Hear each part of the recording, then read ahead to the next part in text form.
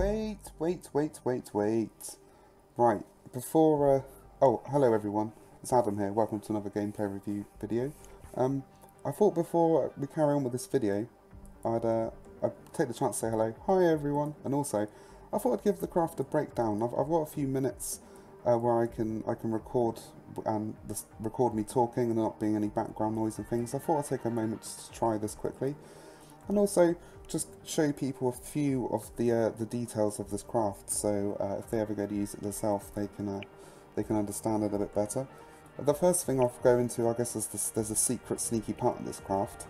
I've basically I've added I've added a reaction rail wheel inside the inside the rover. It starts off default on, uh, even though it's not needed at all. Um, what happens is when you press the action key 1, uh, it will deploy these antennas and it will also turn it off, okay, so it would be like it's not there. But the reason why I've done it, okay, is if someone's a beginner or if someone has forgot to save it or something, if for some reason this topples over on the moon, you can, or wherever you're going, you can reactivate it and you, you can flip, you can self-right yourself, right? How, how cheeky is that? And you wouldn't even know it's there.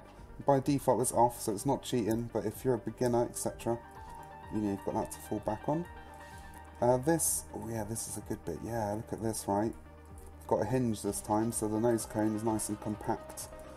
Uh, and basically, when you let, when you release this, it's clamped down there. When you release this, yeah, it, it falls down so the rover can then, then depart. Uh, it's got these. It's got these little sight. It's not needed. I mean, you can just you can just wheel straight off, like fly off as fast as you want, and you can make it so you land straight if you you know if you're cool enough. But if you're gonna try and make it look nice and realistic and uh, you know take it and you want to take it nice and slow, it's got this little guide bar. So as you come down, your wheels just sits there, and it, just, should like roll off nice and smooth. Uh, the main part of it is it's where it's hinged, the centre of mass is just on the outside. So if you're in a in a perfect situation, it's dead flat. If you let it go, it will just it will just drop down on its own. Um, but normally you're landing on a slight slope, and you naturally you're going to want up the slope. Do you want to be looking uphill? So when this goes down, it's got hasn't got. Remember, if, you, if you're downhill, it's going to be dropping down further before it stops. They give you a steeper ramp, and you want it to be as nice and nice and gradual and smooth as possible. Um, you know, so there's a payoff between you kind of want to be you want to be looking forwards, but then if you do that, the centre of mass is going to be off, so this is going to want to tip backwards. But I haven't, I'm not, I it's not something I like to do, but I'm pretty sure it's possible that you can just ram it, you can ram it open with the rover, but again, it's a bit dodgy. You know, generally you need to take it slow as possible, and pretty much you have to have your finger held on brake the whole time, otherwise um, it, it does just go a bit out of control.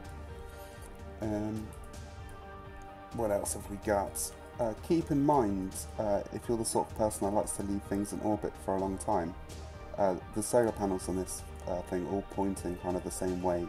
So if you start pointing to the sun and you leave it the equivalent of like a quarter of a year or half a year in uh, Kerbin time, then uh, the sun's going to be pointing from the other direction, so you run out of power. I have I've tried to put as little extra batteries on as possible because this craft it basically it will it will generate enough power to power itself as long as uh, as long as there's the sun on it. But there is a there's a few little bits packed in, and these uh, these parts I've used uh, just to make the shape correct. Um, they've also got a tiny little bit of battery in there for themselves, so they all that all kind of pans out. Also, um, I don't really like to toot my own horn, but uh, this uh, this craft is something special. I don't know what it is about this craft, but I tell you, it's just I've I thought it was going to be rubbish, and it's turned out almost looking perfect. I've even got the, got the struts in there, the, the right shape for uh, you know for the suspension system they've got. I mean, to give you know give it's not perfect, but it gives you the the best you can do with this. It was a nightmare, I tell you, to use that as uh, you know there's little there's little bits little bits everywhere. Oh, but it's just uh, I'm really excited about this craft, and I know it's going to be really fun to use. So uh, you can rest assured the next video will be coming out in like a few hours of this, so you know, I'm gonna get on with it, alright? Don't you worry. There is only one thing of the craft really to, uh, to take note of, and that is once once uh, this has been deployed, it becomes a second craft, and quite often I find when I've loaded it back, um, it will it will have shifted out of place, and it will just cause a few little glitchy movements and stuff here or there. Um, what you what you really do is just go into the tracking station or uh, select it, um, select it because it becomes a separate craft, and then if you just if you just delete it, um, it no longer be a problem. I don't. It doesn't really. I don't really. It doesn't affect me much, so I'd normally just leave it. Um, I say normally. I only made this craft a few hours ago, so. and uh, so yeah. Uh, you can also see I've upscaled the Long March, which I don't just created a Long March rocket of this uh, this type, but uh, I've upscaled it because usually um, my crafts are, quite a little bit smaller than, uh, well I make them as small as possible basically, and um, since the rover, the smallest parts are kind of these wheels, they're, kind of, they're naturally dependent on those parts and scaling to the size of those parts, it has to upscale basically everything else just to uh, accommodate for that. Oh, there's lights at the bottom, there for no reason at all and um, also there's isn't even isn't even nicer light. Yeah, you can have this light on too. Why did I put the lights on? I don't know, man. I think, I think it just makes it look nice. Oh right, so right, we're, we're doing a proper video, won't we? Right. Yeah, it'd be nice as well to get uh, comments and the feedback for this style of video. It's not the style of video I ever intended to do because I like I like videos without any commentary because it doesn't matter what country you're from or what language you speak. If it's all just a visual thing, everyone's everyone can get the same kind of information. But also, the reason why I'm kind of doing this is so people have an anticipation uh, for what's uh, for my videos, and I'm not talking about that they get excited. So there's an anticipation. I mean, you can anticipate what it is I'm going to do, uh, and so you, you can understand it better. Like for example um, I plan to make it look because people keep saying I'll make it look really easy, but the truth is, if you make it so it is easy, you know, it is it is going to look easy because you've made it so it's going to look easy, right? So uh, with this, um, it would look really quick and really like snappy in the video. But if you if you do watch, okay, it's all a visual thing. Like I said, I love to show people visually.